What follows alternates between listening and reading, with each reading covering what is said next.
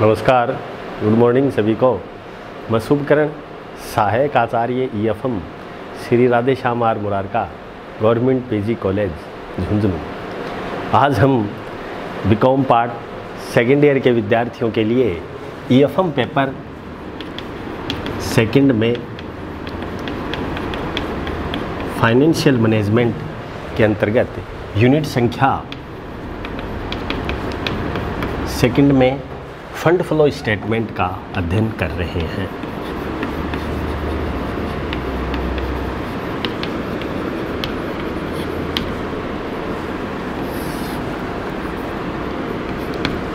पूर्व के वीडियो में हमने पढ़ा कि कोष प्रवाह विवरण कब होता है। कोष प्रवाह विवरण जब हम तैयार करते हैं तो change in schedule of working capital के आधार पर किस प्रकार से फंड को आगे ले जाया जाता है।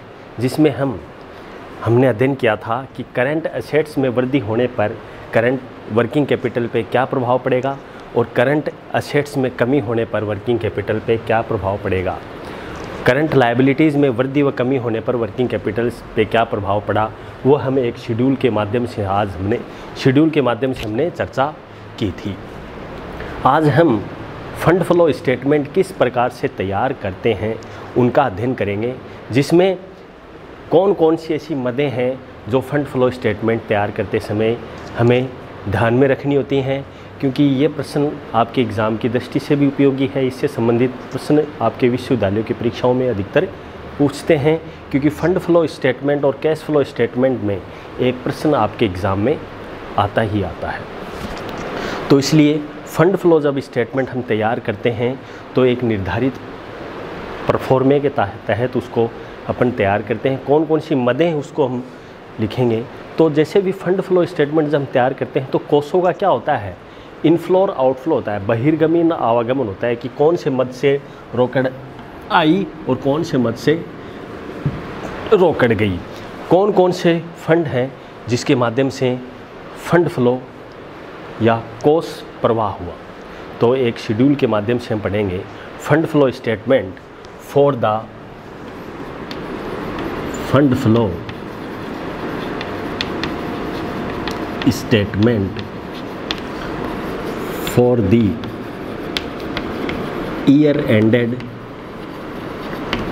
इकतीस जो भी है ईयर।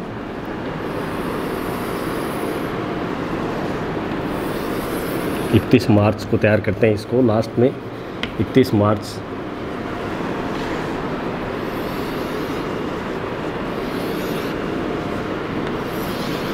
इसमें हम लिखेंगे source of fund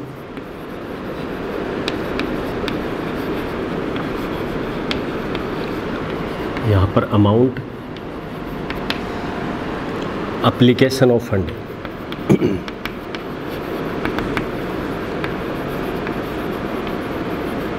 amount source of fund और अप्लीकेशन ऑफ़ फंड किस प्रकार से हम इसको क्रियान्वित करते हैं, जिसमें सोर्स ऑफ़ फंड में पूंजी अपने पास रिसीव होती है और अप्लीकेशन ऑफ़ फंड में कैपिटल का बहिर्गमन होता है।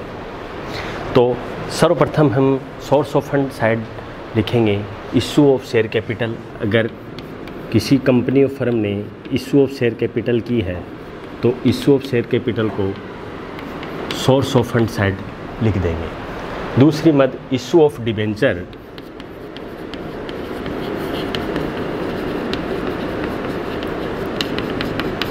डिबेंचरों के इशू से क्या रोकड़ प्राप्त हुई, वो लिखेंगे कि इससे पे कोस कैश का क्या हो रहा है, आवागमन हो रहा है तो इनफ्लो हो रहा है तो इशू ऑफ़ डिबेंचर अगला increase in loan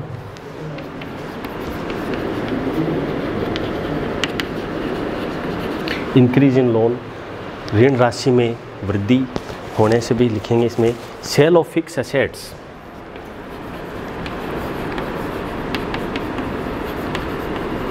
एक ये भी मद है। संपत्तियों को जब हम बेचेंगे तो कैश का आवागमन होता है तो सेल ऑफ़ फिक्स असेट्स भी सोर्स ऑफ़ फंड साइड हम लिखते हैं। अगला है डिविडेंट रिसीव्ड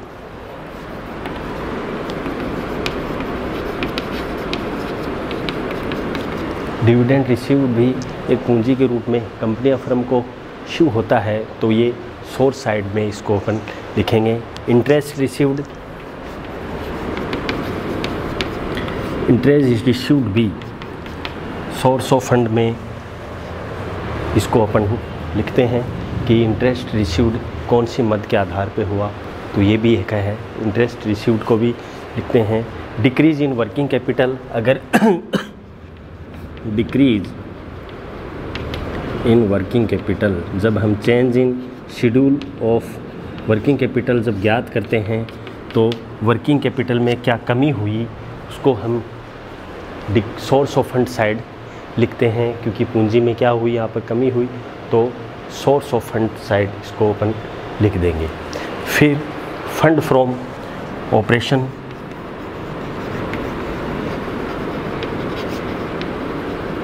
ये अपने बैलेंसिंग फिगर के आधार पे इसको हम यहाँ पर लिख दें अब बात करते हैं यहाँ पर अप्लीकेशन ऑफ़ फंड की। अप्लीकेशन ऑफ़ फंड में पूंजी का बहिर्गमन होता है, जिसमें redemption of preference share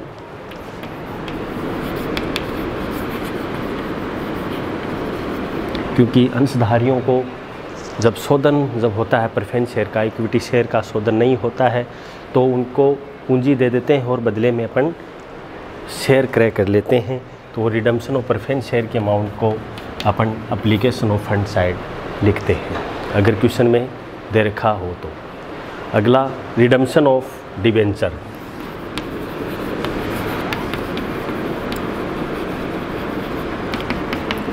redemption of debenture भी अपन अप्लीकेशन ऑफ़ फंड साइड में लिख सकते हैं। तो रिडम्सन ऑफ़ डिवेंचर भी ये एक महत्वपूर्ण है। अगला रीपेमेंट ऑफ़ लोन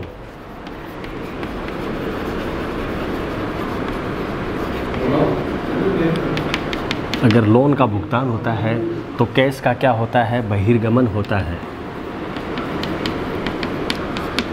कैश का इनफ्लो होता है तो री रीपेमेंट ऑफ़ लोन लोन की राशि का भुगतान करने से कंपनी को क्या होती है? कैश कम हो जाती है तो अप्लीकेशन साइड इसको अपन लिख सकते हैं, क्योंकि फ्यूचर में अगर लोन का अपना भुगतान हो जाता है तो अपने मद से, अपने फर्म या कंपनी से उस राशि का भुगतान हो जाता है। तो यह परचेज़ ऑफ़ फिक्स असेट्स कोई भी संपत्ति अगर हम परचेज़ करते हैं तो अपने से कैश में कमी आ जाती है फिक्स असेट्स तो अप्लीकेशन ऑफ़ फंड साइड इसको अपन लिखते हैं, जब फंड फ्लो स्टेटमेंट बनाते समय परचेज ऑफ़ फिक्स असेट्स संपत्तियाँ फिक्स स्थायी संपत्तियाँ, वे संपत्तियाँ हैं जो अपने जीवन काल में लंबे टाइम तक रहती हैं। तो कोई भी कंपनी या फर्म जब स्थायी संपत्तियों को क्रय करती है तो कंपनी से रोकड़ में कमी होती है तो इसलिए इसको अप्लीकेशन साइड में अपन लिखते हैं। ये अपने क्वेश्चन के अंतर्गत स्पष्ट रूप से दे रखी होगी कि किस प्रकार से कौन सी संपत्तियाँ हैं जिसको अपन ने क्रय की थी और भी है विभिन्न, जैसे यहाँ पर डिविडेंड रिसीव्ड हुआ। अगर डिविडेंड का भुगतान कर दिया जाता है तो डिविडेंड अप्लीकेशन फंड साइड आ जाएगा। Dividend payment. तो डिविडेंड पेमेंट की अमाउंट राशि भी हम अप्लीकेशन ऑफ़ फंड्स हैं, क्योंकि डिविडेंड भी कई प्रकार के होते हैं, अंतरिम डिविडेंड फाइनल डिविडेंड डिविडेंड तो कंडीशन देखी जाती है कि डिविडेंड रिसीव्ड हो रहा है या उसका भुगतान हो रहा है। अगर डिविडेंड रिसीव्ड होता है तो अपना ये सोर्स हो गया।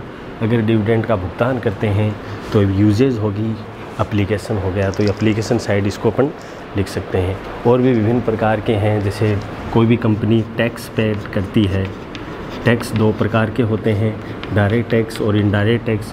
उनका अगर भुगतान करती है तो कंपनी से कैश का क्या हो जाता है, बहिर्गमन हो जाता है तो वो अप्लीकेशन साइड अपन इसको लिख सकते हैं।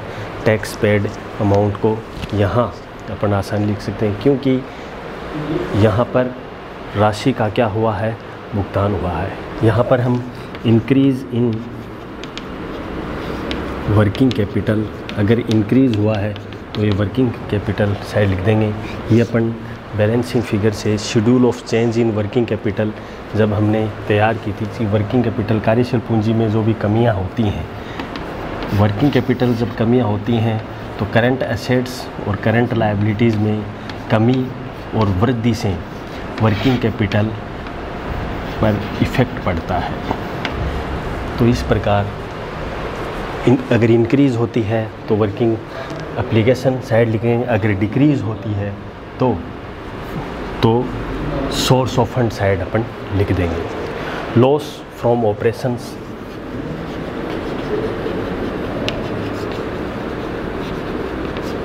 यहाँ पर लॉस फ्रॉम ऑपरेशन लिख देंगे। इसके बाद में फ़ंड फ्लो स्टेटमेंट के बाद में कई बार हमें लाभ हानि का भी एडजस्टमेंट करना पड़ता है कि प्रॉफिट एंड लॉस किस प्रकार से बनाया जाता है तो वो भी हम लिख सकते हैं। तो पी एंड एल अकाउंट हम बनाते हैं विभिन्न प्रकार के समायोजन में। Profit and loss profit and loss के डेबिट और क्रेडिट साइड में। यहाँ पर हम पर्टिकुलर्स की बात करें अमाउंट और पर्टिकुलर तो अगर नगद में अगर कोई भी नुकसान होता है तो हम डेबिट साइड लिखते हैं। जैसे लॉस ऑफ़ फिक्स एसेट्स हैं लॉस हुआ या फिर किसी पर या फिर अपने को लाभ प्राप्त होता है गेन होता है तो वो अपन क्रेडिट साइड लिखते हैं। ये विभिन्न प्रकार के एडजस्टमेंट के आधार पे इनको अपन आसानी से कैलकुलेट कर सकते हैं।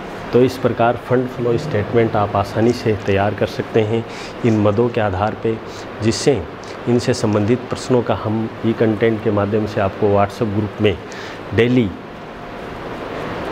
व्हाट्सएप के माध्यम से हम आपको कंटेंट दे रहे हैं अगले वीडियो में हम इसी से संबंधित ही कैश फ्लो स्टेटमेंट किस प्रकार से तैयार किया जाता है?